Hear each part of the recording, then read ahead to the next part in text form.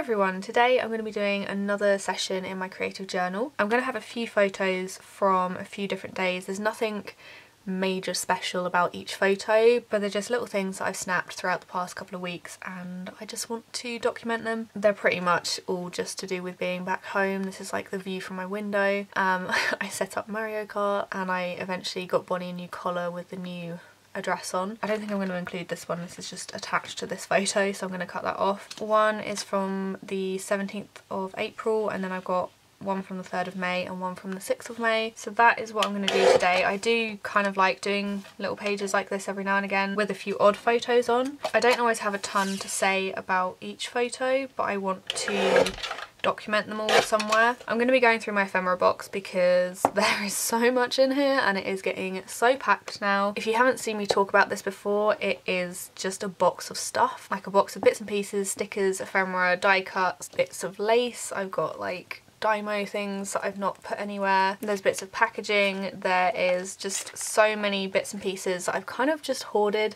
This is just my neat-ish way of storing my hoard. so yeah, I'm going to get started and I will speak to you all again at the end of the video.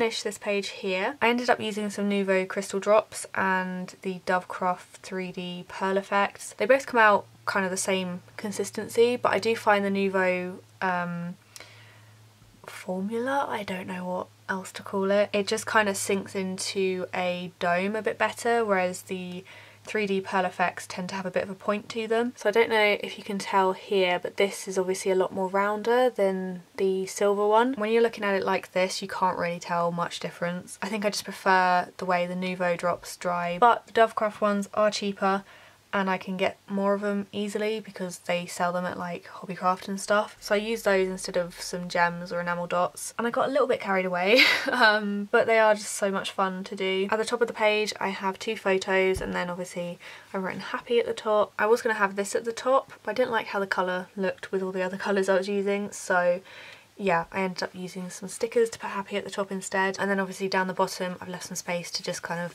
sum up my thoughts um, on the photos. And then I added a little flap which says do your thing and then in there I put another photo and that's why I chose some kraft stickers to put at the top just to balance out the kraft on the page. Yeah that is how this page has turned out. Hopefully you enjoyed seeing it come together. I have very much enjoyed doing these videos again. Obviously I do them every single month for my patrons but yeah I've had a break from Patreon this month just to do whatever I fancy without too much pressure because um, I'm still getting getting back in the swing of things. So I thought I'd do a few for my YouTube channel this month. Yeah, if you have any questions, as always, let me know below and I will see you in my next video.